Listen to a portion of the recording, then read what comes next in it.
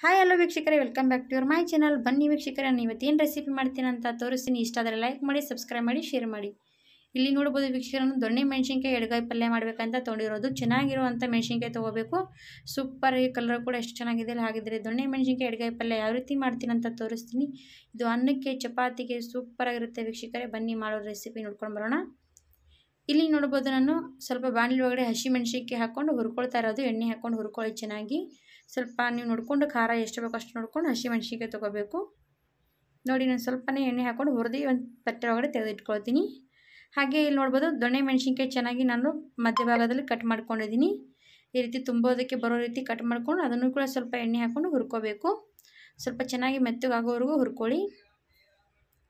ಇದನ್ನು ಕೂಡ ಹುರಿದು ಒಂದು ಪ್ಲೇಟ್ ಒಳಗೆ ತೆಗೆದಿಟ್ಕೊಳ್ತೀನಿ. ಈಗ ಇಲ್ಲಿ ನೋಡ್ಬೋದು ನಾನು ಮಿಕ್ಸಿ ಜಾರ್ ತೊಗೊಂಡಿದ್ದೀನಿ. ಅದರೊಳಗಡೆ ಸ್ವಲ್ಪ ಶುಂಠಿ, ಬೆಳ್ಳುಳ್ಳಿ, ಕೊತ್ತಂಬರಿ, ಮತ್ತು ಹಸಿಮೆಣ್ಸಿಕಾಯಿ ಹುರಿದಿರೋದು ತೊಗೊಂಡಿರೋದು. ಅದೆಲ್ಲನೂ ಕೂಡ ಒಂದು ಮಿಕ್ಸಿ ಜಾರ್ ಒಳಗಡೆ ಹಾಕ್ಕೊಳ್ಳಿ. ಈಗ ನೋಡ್ಬೋದು ನಾನು ಎಲ್ಲನೂ ಕೂಡ ಮಿಕ್ಸಿ ಜಾರಲ್ಲಿ ಹಾಕ್ಕೊಂಡಿದ್ದೀನಿ. ಹಾಗೆ ಇದರೊಳಗಡೆ ಒಂದೆರಡು ಚಮಚದಷ್ಟು ಶೇಂಗಾ ಪುಡಿ ಹಾಕ್ಕೊಳ್ತಾ ಇರೋದು. ದಪ್ಪ ಗಾತ್ರದ ಅಂದರೆ ಸ್ವಲ್ಪ ದೊಡ್ಡ ಚಮಚ ತೊಗೋಬೇಕು. ಹಾಗೆ ಒಂದೆರಡು ಚಮಚದಷ್ಟು ನಾನು ಗುರರ ಪುಡಿ ಹಾಕ್ಕೊಂಡಿರೋದು ಇದು ನಾನು ಹಸಿ ಹುಣಸೆಹಣ್ಣು, ಚೆನ್ನಾಗಿ ನೆನೆ ಇಟ್ಟಿರೋ ಹಸಿ ಹುಣಸೆಹಣ್ಣು ರಸ ಹಾಕ್ಕೊಳ್ತಾ ಇರೋದು. ಹಾಗೆ ಇದರೊಳಗಡೆ ಸ್ವಲ್ಪ ಅರಶಿನ ಮತ್ತು ಉಪ್ಪು ಹಾಕ್ಕೋಬೇಕು.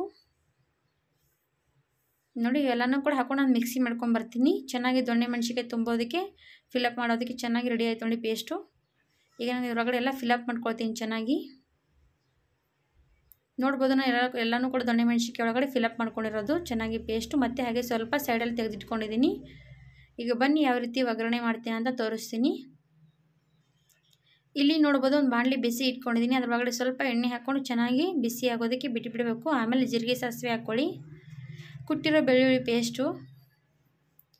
ಚೆನ್ನಾಗಿ ಎಣ್ಣೆ ಒಳಗೆ ಸ್ವಲ್ಪ ಫ್ರೈ ಆಗಲಿ. ಬೆಳ್ಳುಳ್ಳಿ ಚೆನ್ನಾಗಿ ತಿನ್ನೋದಕ್ಕೆ ಟೇಸ್ಟ್ ಬರುತ್ತೆ ಒಳಗಡೆ. ಹಾಗೆ ಅದ್ರೊಳಗೆ ಒಂದು ಚಿಟಿಕೆ ಅಷ್ಟು ಅರ್ಶನ ಹಾಕೋಬೇಕು. ಈಗ ನೋಡ್ಬೋದು ಚೆನ್ನಾಗಿ ಬೆಳ್ಳುಳ್ಳಿ ಎಲ್ಲ ಫ್ರೈ ಆಗ್ತಾ ಇದೆ ಅಲ್ವಾ? ಹಾಗೆ ಚೆನ್ನಾಗಿ ಫ್ರೈ ಆದಮೇಲೆ ನಾನು ಅದು ದೊಣ್ಣೆ ಮೆಣಸಿನ್ಕಾಯಿ ತುಂಬಿಟ್ಕೊಳ್ಳೋ ದೊಣ್ಣೆ ಮೆಣಸಿನ್ಕಾಯಿ ಹಾಕ್ಕೊಂಡು ಬಿಡ್ತೀನಿ ನೋಡಿ.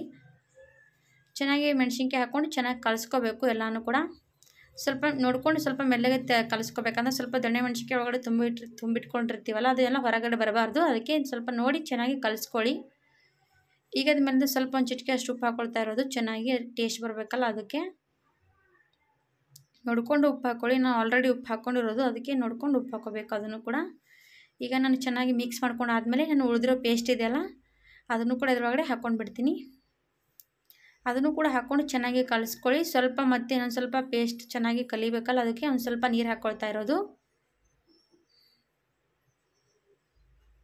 ಚೆನ್ನಾಗಿ ಒಂದು ಸ್ವಲ್ಪ ನೀರು ಹಾಕ್ಕೊಂಡು ಅದು ಚೆನ್ನಾಗಿ ಕುದಿಯೋಕ್ಕೆ ಬಿಟ್ಬಿಡಿ. ಚೆನ್ನಾಗಿ ಸೂಪರಾಗಿ ಟೇಸ್ಟಿಯಾದ ದೊಣ್ಣೆ, ಮೆಣಸಿನ್ಕಾಯಿ ಎಡಗಾಯಿ ಪಲ್ಯ ಸೂಪರಾಗಿರುತ್ತೆ ವೀಕ್ಷಕರೇ. ಇದು ಚಪಾತಿ, ಅನ್ನಕ್ಕೆ, ರೊಟ್ಟಿಗೆ ತಿನ್ಬೋದು ಸೂಪರ್ ಟೇಸ್ಟ್ ಇರುತ್ತೆ. ಸ್ವಲ್ಪ ಖಾರ ಖಾರ, ಹುಳಿ ಹುಳಿ ಚೆನ್ನಾಗಿರುತ್ತೆ. ನೋಡಿ ಸ್ವಲ್ಪ ಕಲಸಿ ಮತ್ತೊಂದು ಸ್ವಲ್ಪ ಕುದಿಯೋಕ್ಕೆ ಬಿಡ್ತಾ ಇರೋದು. ಇನ್ನೂ ಸ್ವಲ್ಪ ಚೆನ್ನಾಗಿ ಅದು ಕುದಿಬೇಕು ಮೆಣಸಿನ್ಕಾಯಿ.